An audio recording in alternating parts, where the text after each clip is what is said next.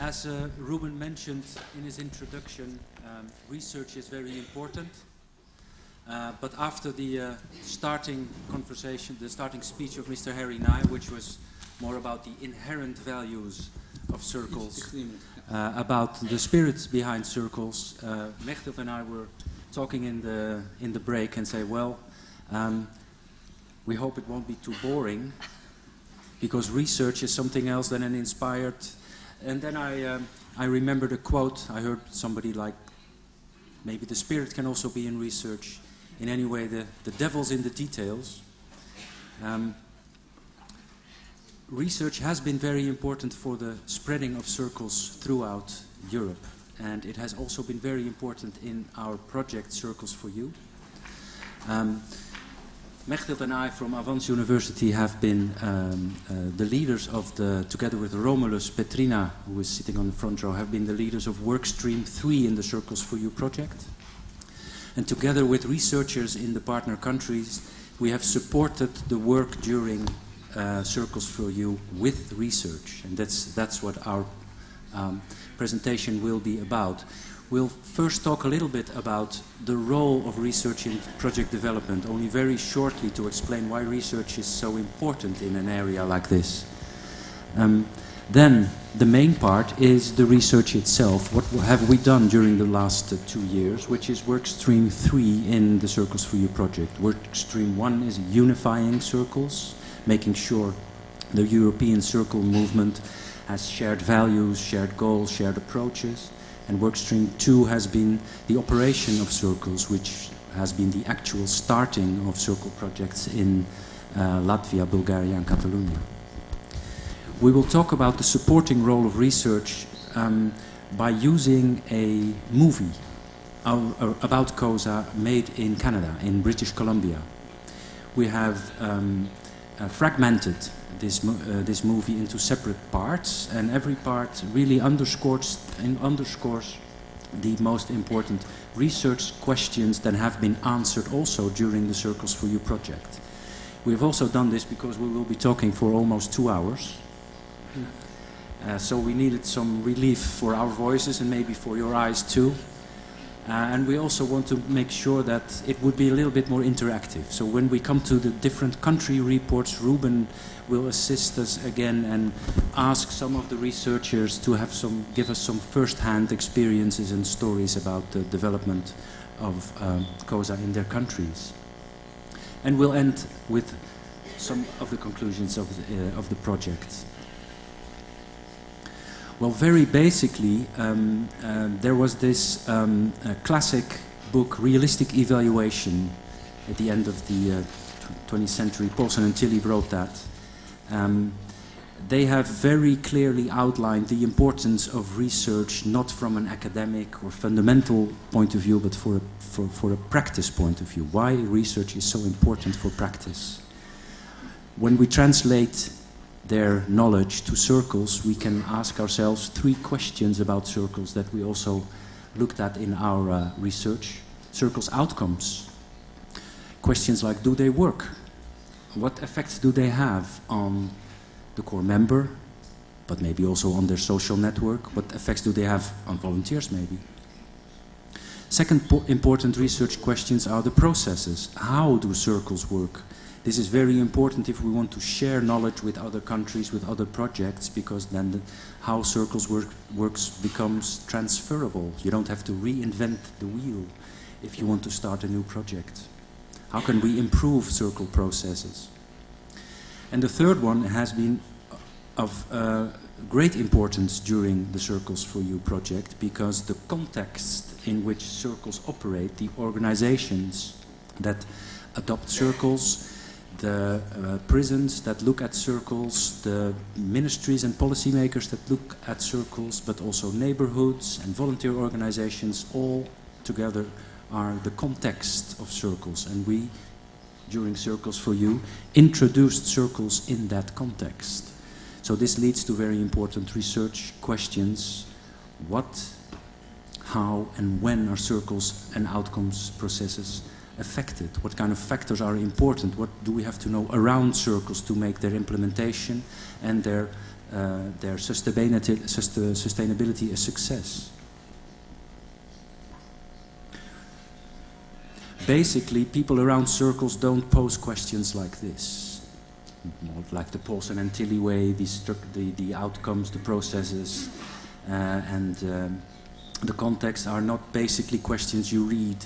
For instance, these are more down-to-earth questions that are, that, that are asked many times in the media. When we, Mechthild and I, or people from the Dutch uh, probation who carry out the Dutch circle, circle projects, talk with journalists uh, from newspapers or television, they ask questions like this.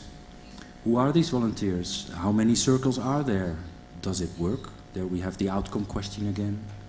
Do core members tell volunteers everything? Because we have heard some other stories about core members. What do they think of COSA? What do they do in a circle? These are important questions the media ask us to inform the public, and circles need the media for their implementation and uh, to stay in their countries. And to answer these kinds of questions, you need research. But not only the media and the general public can profit from answering questions through research, there are others that can profit from it. At number one, the Circles project staff can be assisted in improving their actions day after day by looking at uh, the capacity of circles. How many people, how many funding, how many um, uh, re new regions do we need? What is the right uh, pace to go with? but more, also more detailed questions about circles can be answered through research. The selection of core members is very important. Did we ask the right core members to join a circle? Have we missed people that might otherwise could have profited from circles? These are very important research questions. And then, of course, training, coaching, supervision of volunteers, also to be followed by research and the quality management when you come at the, at the threshold between research and auditing. Auditing is mo more like an ongoing research if we see that the quality of circles on the long run has been sustained. Which, and you can also call that a type of research. Of course, funding agencies and policymakers need research. The Canadian example Mr. Reverend Nigh just told us has partly been um, uh, I think partly research can be the answer for informing governments about the importance but also the success of circles. At the outset, it was a moral argument that convinced uh, the stakeholders in Canada to say, if maybe it's not our policy, but it's important and it works, we're going to do it. After many years of circle processes, you need the facts also if you want governments to continue funding circles.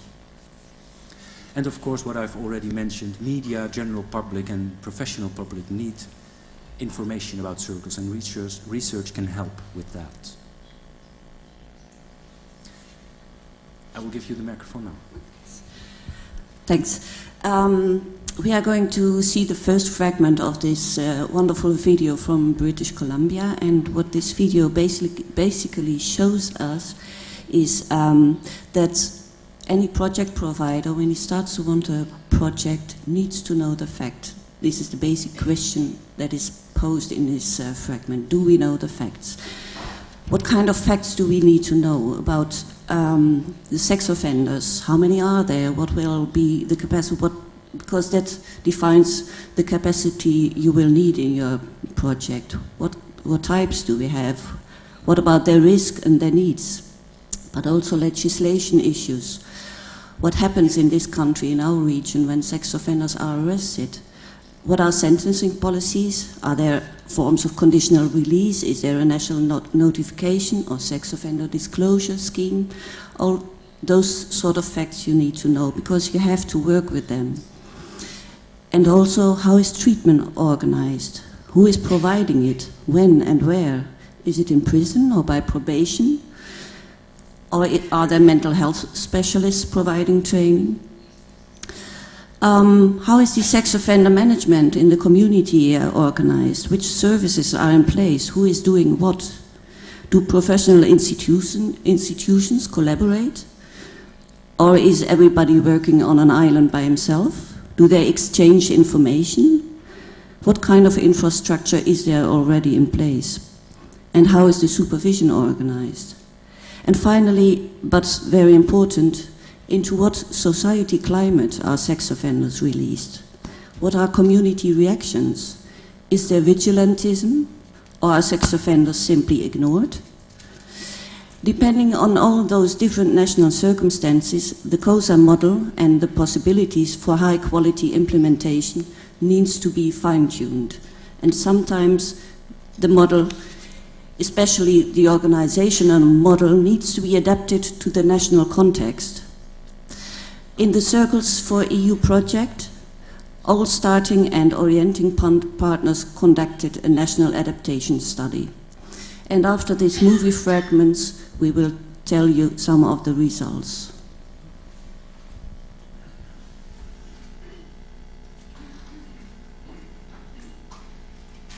Small town in the BC interior. A sunny September afternoon.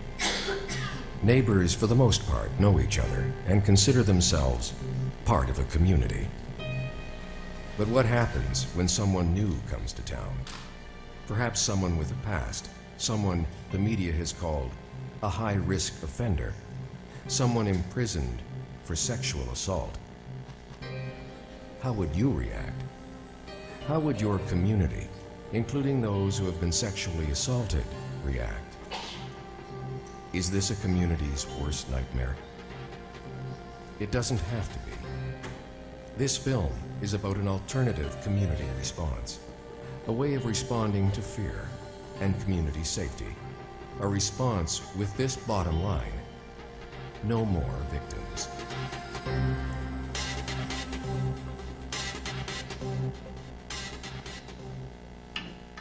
We fear the idea of a sex offender being released to live among us. Do we really know the facts? Does the community, does society know or want to know the facts? Very few child victims are assaulted by strangers. In more than 80% of cases, the victim knows the perpetrators. And yet, the most pervasive community fear is that of a stranger, often called stranger danger. We have a specific idea in our head as to who and what an offender looks like.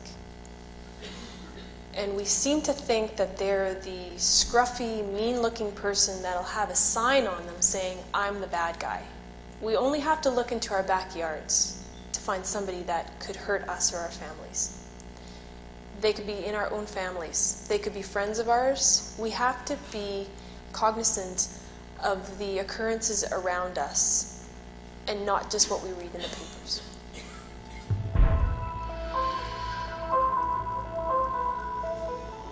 When sex offenders are apprehended, many end up in jail. Some serve part of their sentences, and a few will serve every day of their sentences with no parole and are then released. When he is released, everyone worries. We worry about the safety of our communities. We've seen in the news, we've seen personally as police officers suspects reoffending.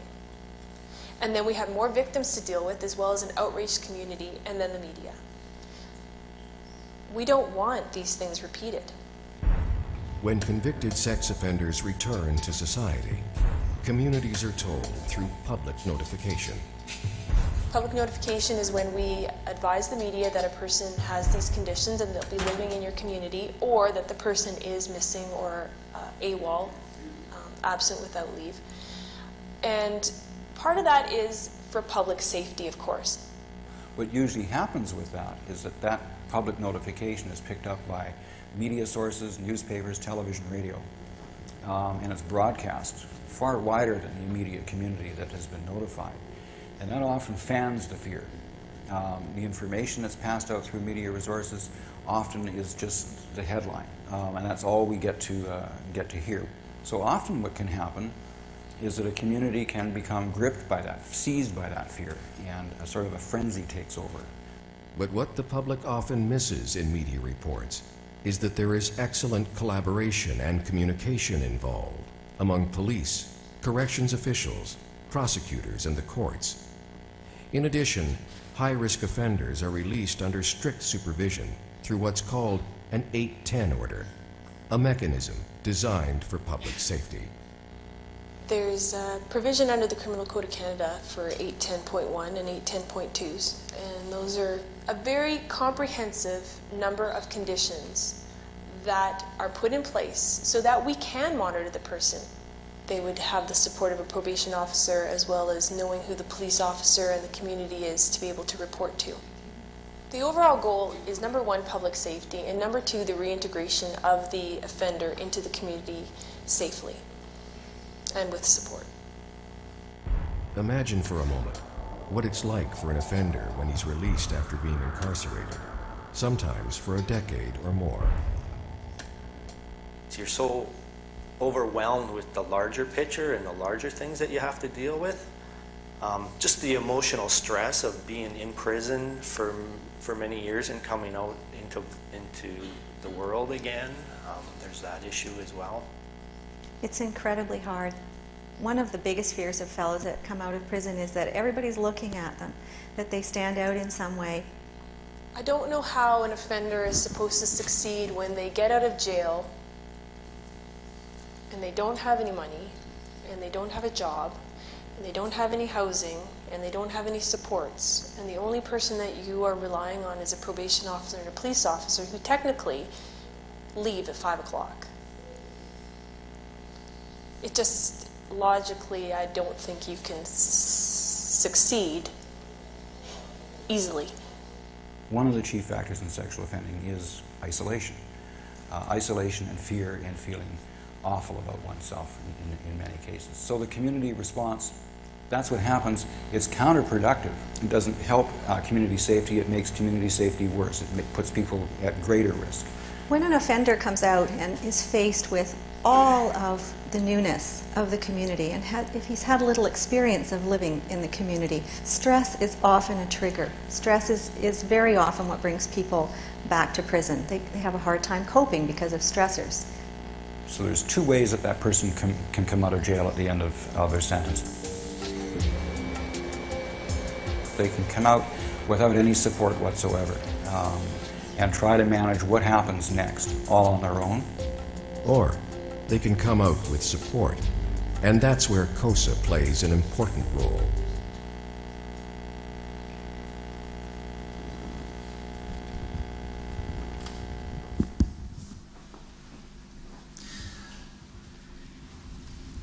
So we've just seen the first fragment of the British Columbia mov- movie about what do we know about the facts. We have seen some people talking about the factual situation of the reoffense rate, the law systems in operation, uh, and also the existence of COSA. In British Columbia, it's only one example of what you could say a national context, uh, context a jurisdiction. And this jurisdiction has been carefully studied by the British Columbia people in order to make the start of COSA as good as possible. And what we did in Circles for You was actually the same. We asked the starting countries, Latvia, Catalonia, and Bulgaria, and also the orienting countries, the countries that will start with Circles very probably later on, to um, do an adaptation and feasibility study. This means look at your own jurisdiction, ranging from laws to community responses, and answer us, answer um, uh, your policymakers, answer, uh, uh, report in the European Circles for You research group the results to see what kind of solutions are best for circles in your country. So we're going through these uh, reports now, and we'll, of course, only highlight the most important results of these studies and I will ask Ruben to uh, to uh, to help us because many of the researchers are in the in the uh, in the in the room. Um, the first report we want to discuss is the um, the adaptation study of Latvia. Um, the university uh, uh, conducted the research, but the project provider, like the organization that has started the operational side of cir circles, is the State Probation Service of Latvia. So here you see some of the results of their adaptation study, and you see more or less the answers on the questions Mechthild posed just before the fragment. Um, For instance, in Latvia, we found that there is a very short tradition of specific sex offender legislation, supervision, and treatment. This probably has to do uh, that the state probation in itself is uh, uh, only uh, is an, is an organization with not a very long tradition. There has to be after the change in Latvia, um, um, uh, the state probation has started and has to had to put many things in place. So this is a, an issue uh, when it comes to Latvia. As an answer to that, the Latvian probation has uh, imported expertise and tools from Canada, Canada, the United Kingdom, and Norway. For instance, a structured risk assessment and also a sex offender treatment program. And here we find two very important elements that have to be in place in a jurisdiction to start with COSA. You have to know the risk level of your potential core member, and you have to know if around the volunteers there's a possibility of treatment of a sex uh, uh, offender, of a core member. And there are pilots of MAPPA-like structures. MAPPA is an, uh, is an invention of the United Kingdom. It is an abbreviation of multi-agency public protection arrangements, which is like a fixed group of people around released sex offenders. And here we find an element which is important for the outer circle, the people working around the, uh, the, the inner circle of volunteers. So these things have been found in place by the Latvian researchers. On the other hand, there have been some setbacks as well. Um, not really a tradition in volunteering or, or restorative justice, which circles in a way are also. And there have been cutbacks in budget due to the financial crisis. So in red, underneath, we'll find the, ma the major conclusions of the Latvian report that the COSA model isn't, isn't really an addition to the already existing national expertise and also existing capacity. So it doesn't found, find an empty ground, it finds uh, a, a, ground that has already um, uh, uh, has many elements uh, in place for COSA to be welcomed. And it is modeling restorative justice practice, which was also an important conclusion. Um, so Ruben, maybe uh, we could have a this is of course I'm reading up the slide and I didn't exactly, do the yeah. research. The people who did the research are in the are in the. Okay. Who's the one who room. did this research? Where where where where are you? Somewhere.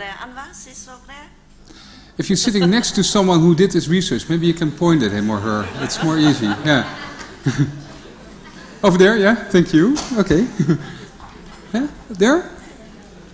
You know them, isn't it? Oh, baby. No. No, no. Uh, uh, first of all, the first question, of course, would be: Do you recognize the results? That's very important. Yeah. No, wait a moment. It's, it's now switched on. Yeah. No, not yet. Yeah. We change the microphone. Here.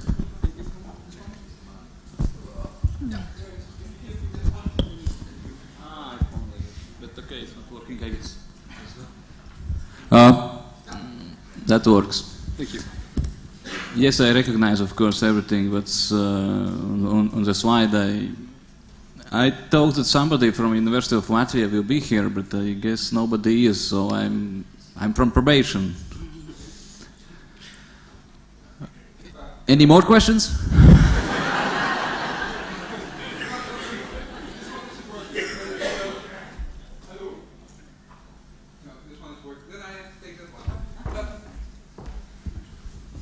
But proba probation is also the project provider, isn't it?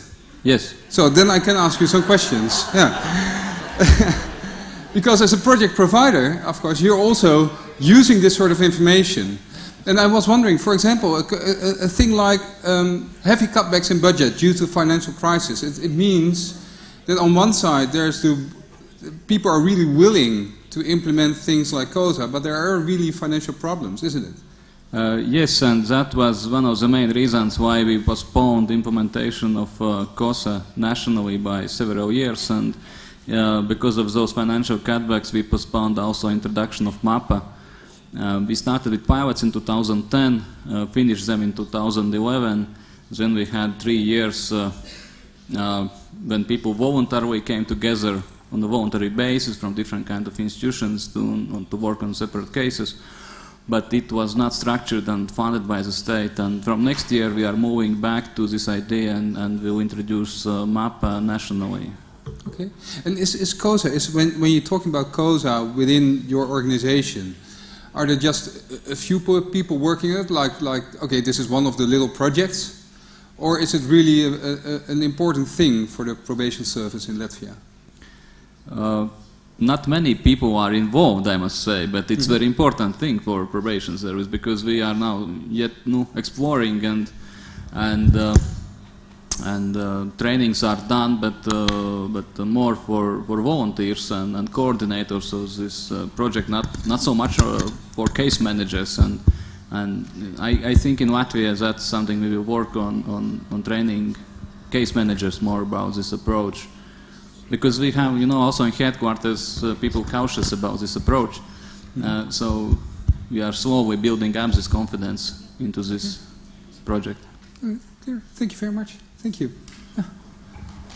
Any other questions for Latvia from you or uh, Bertolt or Bas?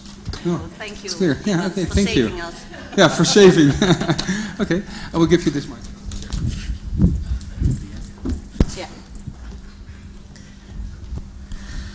Uh, also, uh, of course, here in Catalonia, the Circles Cut team did an extensive uh, adaptation study, and we just wanted to highlight one of the elements of this uh, adaptation study. Um, oh no, I'm sorry, I'm, I'm mixing things up. Um, the, the project provider here is, of course, the Directorate of the Prison Service, um, and some of the results of the uh, adaptation study explains some of this big success here, I think. Um, they found uh, a consolidated sex offender treatment in prison already. Uh, long-term supervision was in place. Uh, sex offenders can be supervised in the community for up to 10 years.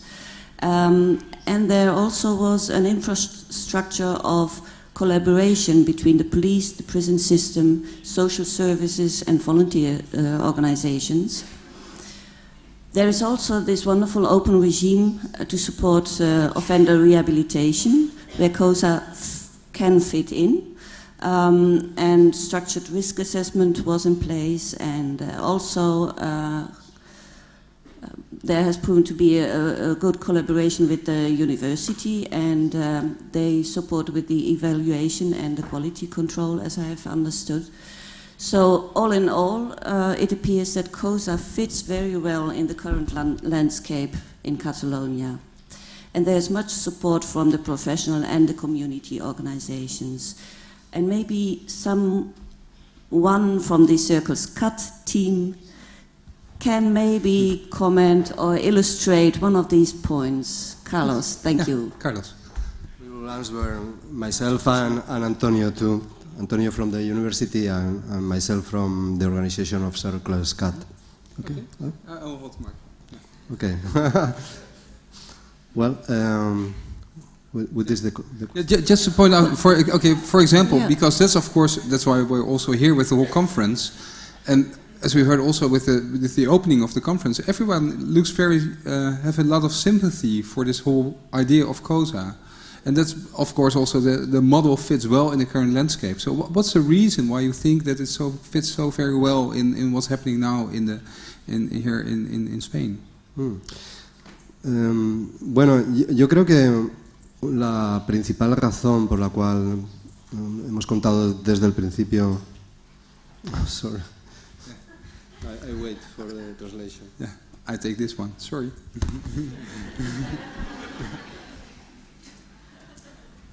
okay. Eh, eh, creo que una de las principales razones por las que desde el principio contamos con una buena aceptación del proyecto Círculos, bueno, yo creo que hubo dos razones. La primera es que teníamos tradición en, en los servicios penitenciarios y en ejecución penal en Cataluña de trabajar con programas sociales tanto dentro de la prisión como fuera de la prisión, colaborando con, con entidades sociales. Y eso y, eso yo, creo que ayudó mucho, ayudó mucho a contar con, con este apoyo. Y después, que, mm, que seguimos bastante el consejo del manual de Circles, de European Handbook, o la experiencia de otros países respecto a la importancia de hacer una buena difusión del programa. Entonces fuimos con mucho cuidado, pero a la vez paso a paso, intentando dar una eh, información al público, a posibles voluntarios, de cuál, es, de cuál es el modelo círculos y de cómo funciona y por qué. Y, y, finalmente yo creo que es que el modelo círculos es un mensaje muy claro y muy directo, muy poderoso e incontestable. Es, sirve para reintegrar al delincuente y para evitar víctimas. Y eso, si se explica bien, yo creo que atrae mucho el apoyo.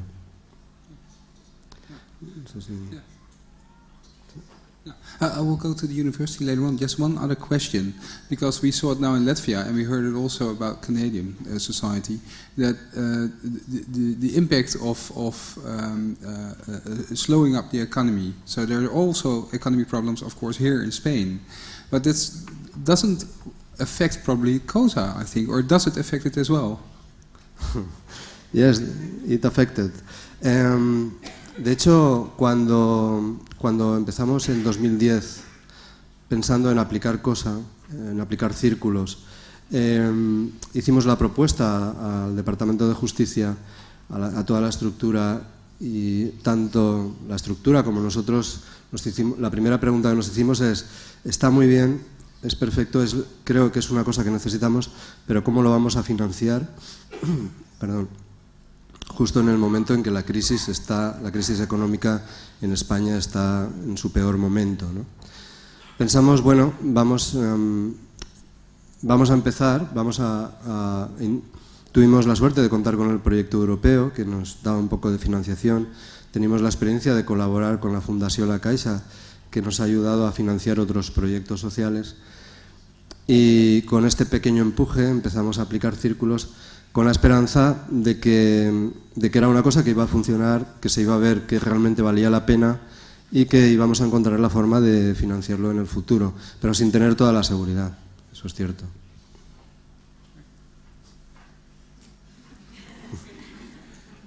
it takes some time for the translation. I, come over there, one second. Um, for university, I was also uh, thinking, because um, it's, the research is, of course, very important. Uh, how do you involve, or how, do, are you involved as a university in doing the research, and are you also helping to give arguments for COSA? Because that's also very important, of course, to explain to others why it's working.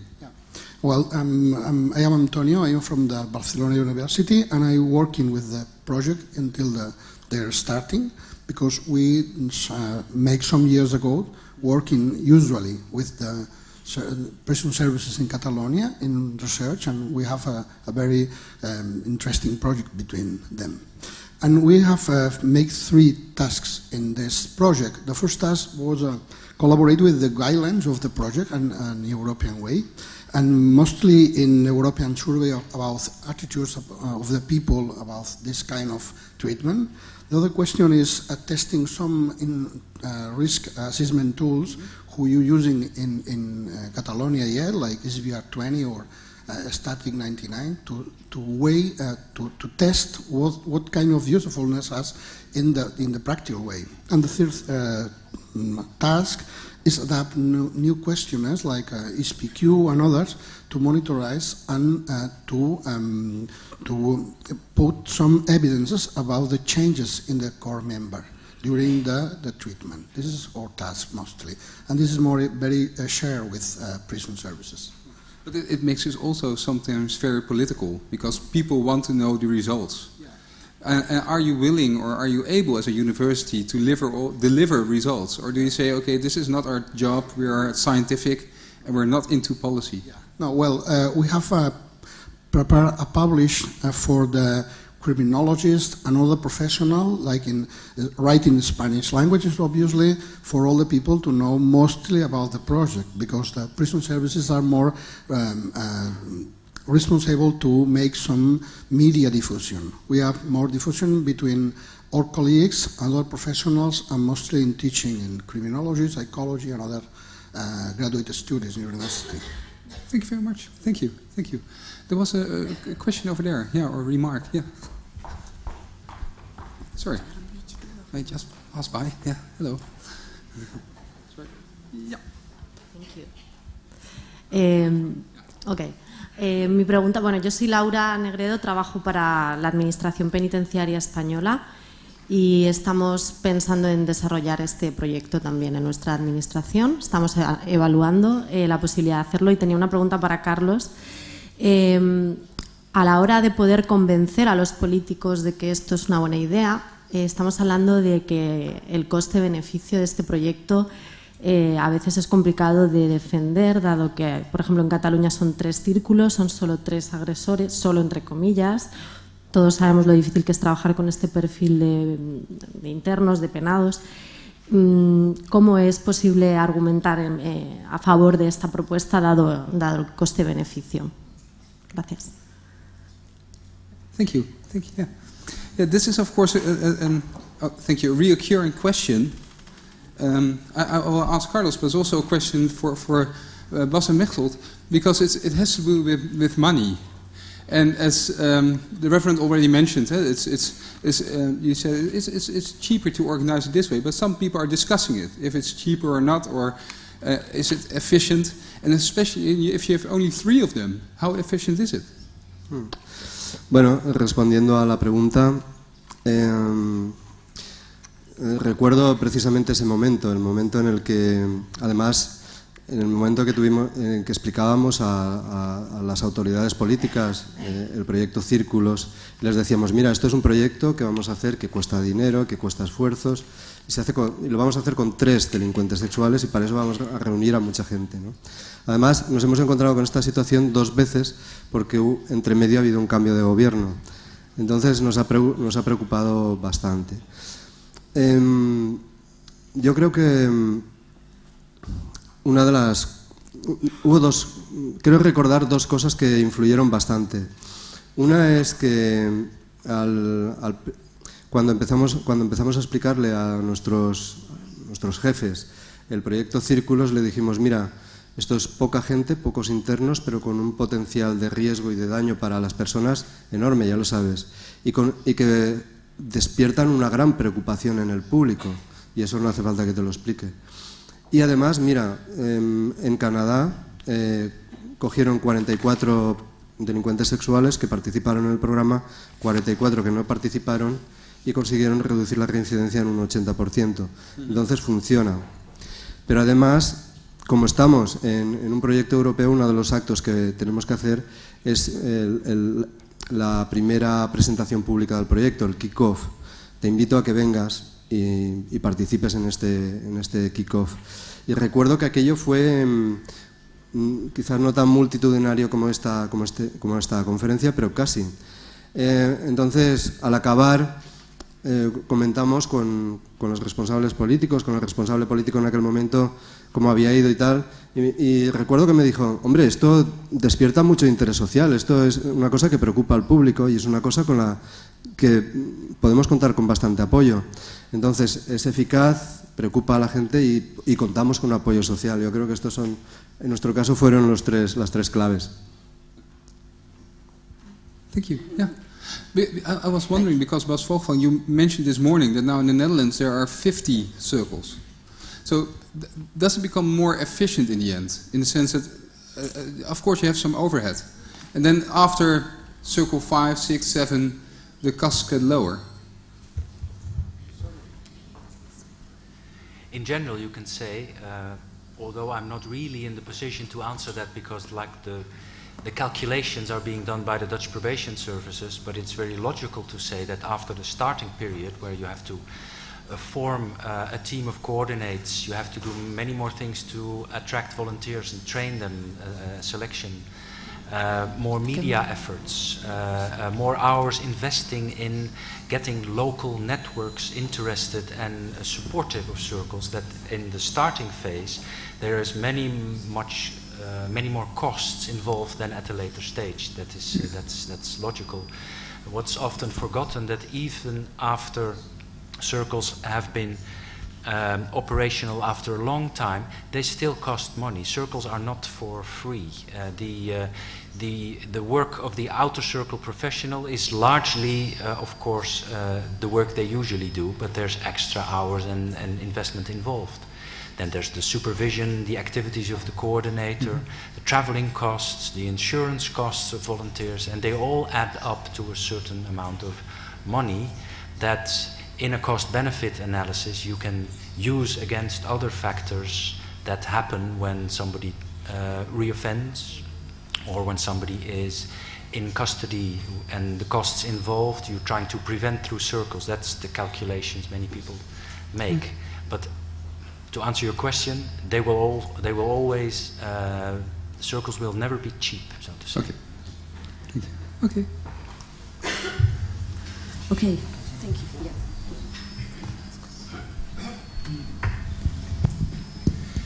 Uh, the third adaptation.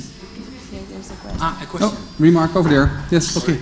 I'm sorry to introduce. Uh, uh, we have to put off some microphones because they are now getting noise between. Yeah, just put that one off. There's a button on the front. Yeah. Yeah. Okay. So, cost, to raise uh, the question of cost benefit, it's a, always a very important issue. But I'm sorry to say, in this case, it's a nonsense.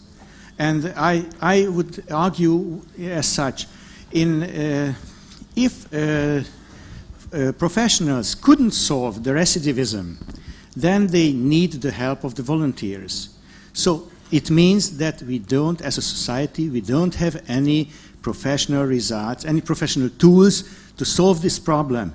And if we don't have any other tool, then cost benefit is not a question. Yeah. But of course, for politicians, they always find questions. Okay, okay, and but, they, but and but, they could very okay, easily say, let's, if, if let's spend the money for something else Yeah. which has better results. But Yeah. there is no other tool. But they do think that if you lock someone away and throw away the key, it's much cheaper. Okay, that's that's the argument. Yeah. Yeah, that's what they're Yeah. using that argument, of Yeah. course. So we, th- and the Uh, question, of course, is: Can you deliver research or information to convince politicians? But already, not only the three uh, cases in uh, Catalonia, not the three cases in Bulgaria, not the three cases in Latvia were analyzed and studied, but more than thousand cases. Yeah. And that's that's what uh, is a compar- comparison. Okay, short reaction over here. The UK had a cost benefit analysis undertaken, commissioned by Circles UK three years ago. That was done by Birmingham University and it costed Circles at £11,000. So, translated to euros, I don't know, 12,000. Now, they also calculated that the cost of a reconviction for one year was £147,000. Do the maths. That is not including the hidden costs of family breakdown, mental health treatment, uh, loss, of, loss of earnings from uh, whoever's convicted. We have now done further work. We are quoting £9,000 as an average cost per circle. £9,000. That's against £150,000 for one year reconviction. Thank you very much. Thank you. Bulgaria. Bulgaria. Talk about the cost benefit. It has the cost benefit itself has the danger in it that we start calculating costs and benefits of circles and forgetting what society would like to invest in community super in community efforts to reintegrate uh, people and to prevent victims. Some of the values within circles are it's it's difficult to to to translate them into uh, into money and we know we have to do the calculations but to do only the calculations is maybe a dangerous area where we as circle movement would like to be. There's all, still always the more inherent values and they're, uh, they're priceless. The, uh, the third um, by starting country was uh, Bulgaria. With, uh, this was done by um, Andrei of, uh, of IHA, which is a non-governmental organization based in, uh, in uh, Bulgaria. And it's also the organization that provides the circles. Now, you can probably see on the bullet list that the situation, the starting situation for circles in Bulgaria was quite different uh, than the situation we found in um, Catalonia and the situation in Latvia.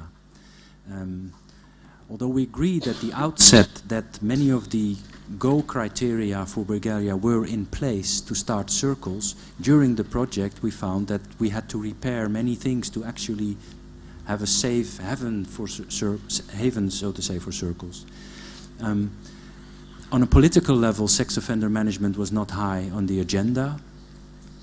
They were seldom released on probation, which was more or less, I think, the gating situation we also found in, uh, in Bulgaria. There is a, a release without conditions. Um, lack of expertise and capacity in sex offender treatment. Uh, no structured risk assessment in place and little commitment from the professional institutions that you need to have involved for the outer circle. So during our project, in order to have a safe start of circles, several measures were taken. For instance, the import of expertise on structured risk assessment from Latvia. And as a, a result of the research was also that based on the situation in Bulgaria, a more Canadian-like approach would, prob would probably be more suited for uh, Bulgaria. COSA fills a gap, but maybe not in the way that it's like highly structured and within the, the justice system, so to say, as in California, uh, Catalonia and in, uh, in Latvia. So that's more or less the picture. I'm, I'm not sure if the researchers of Bulgaria are in, in the... It's a research from yes. Bulgaria. Over there, yeah, hello. So, this, yeah, you have a microphone, please. Pass it through.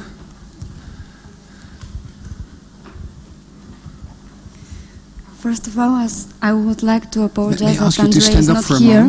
May, may I ask you to stand up, then people can see you. Okay. Yeah. yeah. yeah. Thank you.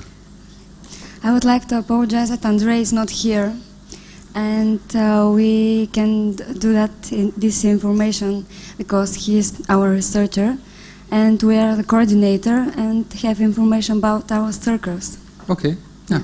It's a pity he's not here, but you're here. That's that's wonderful. So that's, uh, that's uh, yeah. yeah.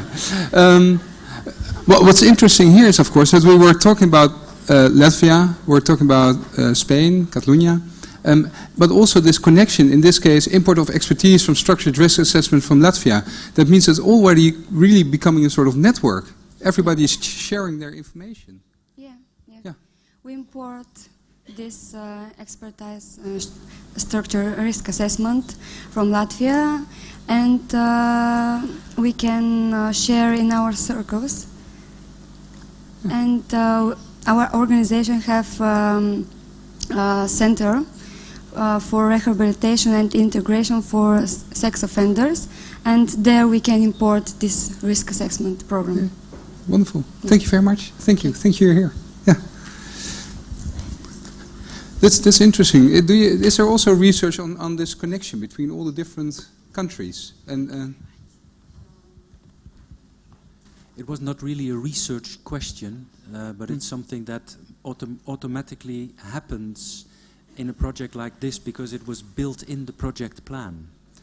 That's why we were successful as a partners to get the funding from the European Union because we built in all these kinds of exchanges and possibilities for exchange in the plan. And we also had Elizabeth as liaison officer who traveled uh, uh, in between the starting and orienting countries to make sure that these connections were established. Yeah. France. France. Uh, France was one of the orienting countries, not just uh, looking into the possibility to have circles in the future, not starting circles within this project period. And uh, Florent Cochez and Alice Delage of the Centre Hospitalier de Charles Perrens, I hope I said correctly, with the program areas, um, have done uh, some research into the feasibility of circles in France. Um, and I, if I am um, correct, these are some of the points that you uh, highlighted. Um, there's much uh, support for, for COSA, and uh, both from the professional as from the, the public community. Um, there are specific sex offender policies for treatment and supervision. Those are in place. Uh, volunteering is a common practice. Um, in, in social services mainly, but not so much linked to probation.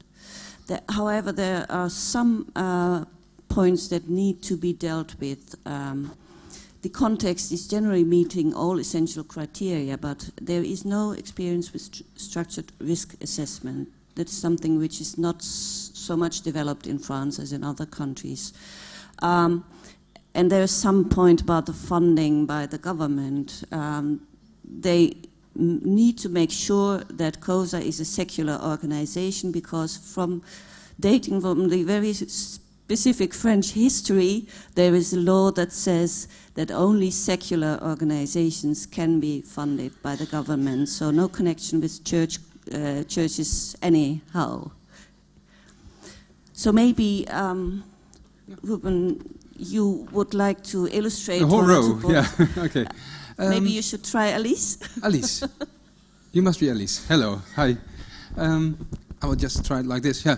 Well, uh, stressing the last point because that's interesting, of course. Because we, we were talking about, with the reverend about the, the, the connection to religion, and at the same time, everyone could be volunteer, even if you're not member of a church. So how, how strong is this point? Does it really run a risk for implementing COSA in France? Uh, well, in France, effectively, uh, secularism is very, very important. So every volunteers could uh, be uh, could have religious ideas, but uh, not in the organization for uh, a COSA, because the government can found religious organization. It's something very important in France.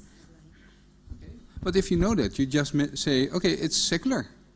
That's very easy, isn't it? You, just, you don't talk about it. You just say it's secular. Yeah. Or is it? Are they really checking and that you're not allowed to be a member of a church, or is, this, or is it a little bit too naive? This.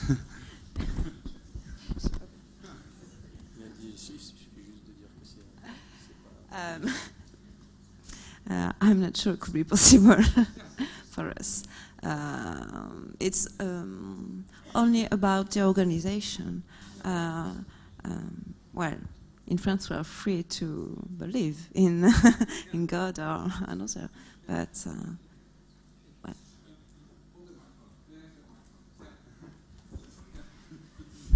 yeah, because you're orienting now, isn't it? Yes. Yes. When does does circle start in France? What, what do you expect? Uh, it will be one circle, two, three, oh. ten, twenty.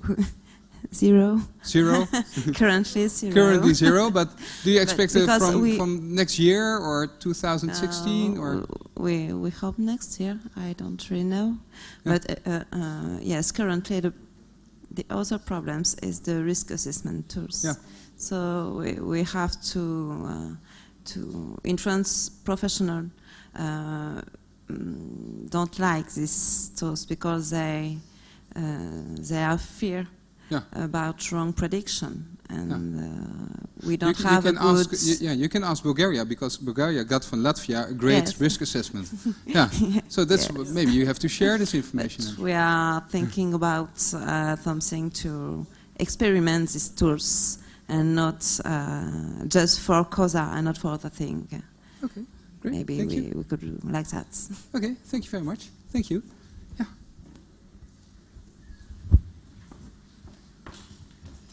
Second orienting country, Ireland. Um, the, uh, of course, um, uh, there's only two conclusions here on the on the slide, and there's many more things that have been said in the report.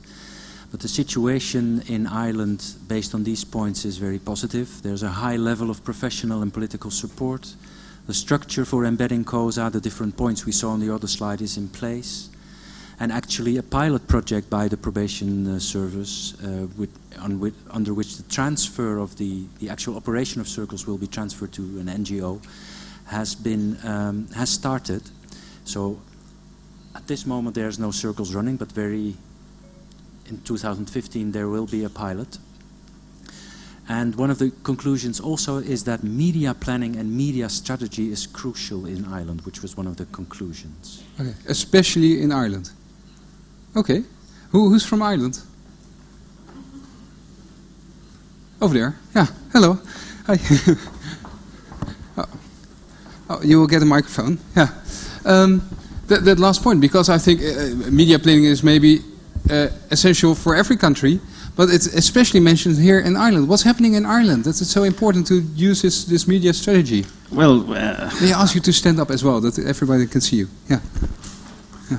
Um, Brian Dack is my name from the Probation Service in Ireland, and um, we are on the cusp of the journey into to circles. Uh, I'm accompanied by my colleagues here from uh, PACE, which is an NGO organisation that the Probation Service has a long history of working with, um, and they are uh, going to partner us in, in the development of circles, and we're delighted that um, we've got the financial support to do it mm -hmm. on a mm-hmm. pilot basis. And uh, within the next two weeks, we will be interviewing for our coordinator. And in the uh, next two weeks. In the next two oh, weeks, yeah, and, huh. and, and, kicking off the process. Um, I suppose as, as a, a, government official with the Department of Justice, um, uh, we've kept the media at arm's length um, uh, traditionally, um, but we do recognise that um, to tap into the the, um, the good uh, history that we have of, of volunteerism in Ireland, uh, volunteering is very very popular there. But to tap into volunteers to to make that step into uh, working with with uh, these type of, of offenders. Um, would be a big step, and we need some positive uh, support uh, via the media for that and tomorrow to, to recruit volunteers, or is it uh, the moment that you choose for a, uh, for approach like COSA that there could also be some negative reactions in the media? I, no, I don't think I don't think necessarily there's going to be negative uh, reaction to the concept of COSA or the implementation. There is negative um, reaction to um, sex offenders coming into our communities uh, from prison, and uh, in a workshop tomorrow we're going to explore that. And Stephen Hanvey is, is, is going to uh, point a way forward for us in Ireland in terms of uh, uh, media. Um, our, our, experience to date is, is, is, has been mixed. I mean, we've had this just recently. We had um, a, a two-hour, two, two program documentary on the probation service, which was a fly-on-the-wall documentary, which was very, very well received by our national media. Um, I suppose our social media might have had a different uh, response to it. Yeah. Um, but within that, there was, there was an element of, of working with sex offenders in the community and, and the challenges that are posed for probation officers, particularly around accommodation. Um, and the harassment that people receive within the community. So it's a, it's a challenge for us, it's a task for us, um, and we think that, that we could probably go under the radar and be very successful, but we think that going out and coming out, so to speak, is something that we have to uh, tackle and, and, and, deal with, and that's, that's a challenge for us going forward. Okay, great. Thank you very much. Thank you. Yeah. The last orienting country. Uh, the last orienting country is uh, Hungary, uh, for which uh, Sarolta Laura Horvath and Geza Gosztonyi and his whole team. I uh, uh, heard that some other prof professionals were also involved in the adaptation study. Um, from an institute which name I do not try to, to, say because it's so difficult.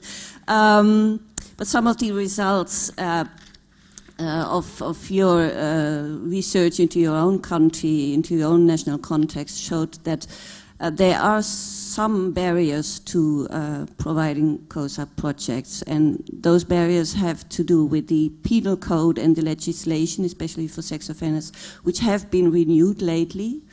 Um, there has been a reorganization of the probation system, which makes close supervision of sex offenders rather a difficult task, uh, uh, and mainly this task has been shifted from the probation system to the prison system, and there are lots of capacity problems and expertise problems probably. Um, there also is no accredited treatment program for sex offenders, so you would have been in trouble for finding people for the outer circle. There is a structured risk assessment is not yet available. Uh, it will be uh, in probation from 2015 and 2016 in the prison system. Um, all in all, the funding is a major problem. Funding for NGOs, to secure the funding for NGOs is more than difficult at the moment. And um, so Hungary concluded that it may not yet be ready for COSA in 2015.